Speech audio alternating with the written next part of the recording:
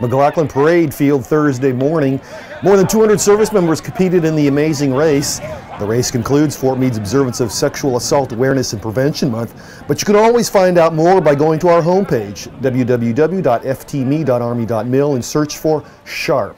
Hello and welcome to Meade Week. I'm Brian Spann. Also this week a look back at Earth Day and Veterans That Compost. Army 10 miler tryouts coming up and some notes from MWR. But first, the contributions of Fort Meade's thousands of registered volunteers were recognized at the annual Volunteer Recognition Banquet. We're just blessed that we can give special thanks to the uh, like 3,226 volunteers across the installation, across the posting community. They provided over 46,000 hours cumulatively of volunteer service that's worth over $1.2 million in services. Before the annual awards were presented, the Red Cross recognized Kimbrough volunteer Wolfgang, better known as Wolfie Sklar. Sklar hasn't missed a day of volunteering in two years, racking up more than 2,400 volunteer hours.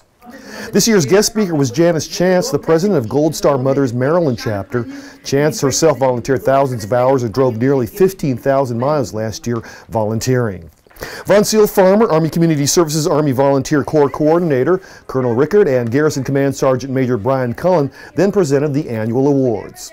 Staff Sergeant Angel Rodriguez of the 780th Military Intelligence Brigade is the Active Duty Volunteer of the Year. He was nominated by the Enlisted Spouses Club. The Civilian Volunteer of the Year is Michelle Brittingham from the Fort Meade Tax Center. Fort Meade's Youth Volunteer of the Year is Caitlin Shibaliski from the Post Thrift Shop. Gary and Kelly Swanson were recognized as the Volunteer Family of the Year for their work at the Casualty Assistance Center. The Organization of the Year went to the Fort Meade USO, and the Volunteer Military Unit of the Year award went to the 741st Military Intelligence Battalion. On behalf of Command Sergeant Major and behalf of my uh, commander, Major General Michael Howard, I sincerely thank each of you for everything that you do to make life at Fort Meade a wonderful experience. In other news, Fort Meade's Environmental Section's annual Earth Day celebration seems to get just a little bit bigger every year. This year's event attracted more than 50 exhibits and displays. Live animals are always a big attraction, and this year there was a tremendous variety. Maybe the first time a gator has been seen in the Fort Meade Pavilion. You can touch it if you'd like. Yeah. okay, I've got to stretch. I got to stretch or Birds of prey, of course, always draw a big crowd. It's Maryland, so there must be turtles, sleeping hedgehogs, bobwhite quail, snakes, and more. Earth Day is an annual event held worldwide. It was first celebrated in 1970 in support of environmental protection. One veteran who's certainly doing his part is Justin Garrity. Garrity, the guest speaker of this year's celebration, is the founder and president of Veteran Compost. Veteran Compost collects food waste, composts it, and then turns it into products for sale like organic compost, potting, and gardening soils. Garrity started the business eight years ago after five years in the Army as a combat engineer. In December of 2009, I uh, was awarded a Bronze Star and some other awards as I left Iraq. And then four months later, uh, I was unemployed. And in June of 2010, I actually filed for unemployment for the state of Pennsylvania.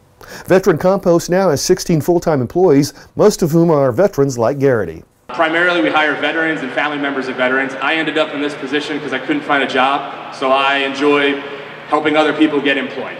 And so all of our workforce in DC at our Virginia facility is veterans uh, from the Navy, Marines, and the Army.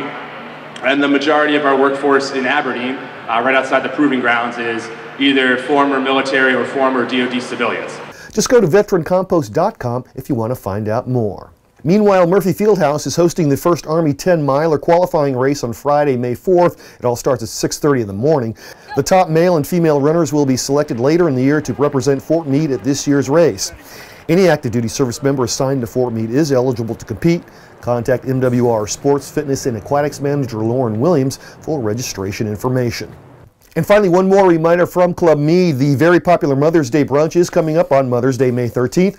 There are two seatings from 11 to 1 and from 2.30 to 4.30. It's open to all DOD ID card holders and their guests. Reservations are recommended. Once again, call Club Meade at 301-677-6969. And that's Meade Week for this week. I'm Brian Spann. For everyone at Meade TV and the Fort Meade Public Affairs Office, have a great weekend and a great Meade Week. The power of one small action, one conversation, or one phone call can make a difference in the life of a veteran going through a difficult time. For free 24 7 confidential support, call the Veterans Crisis Line or the Military Crisis Line.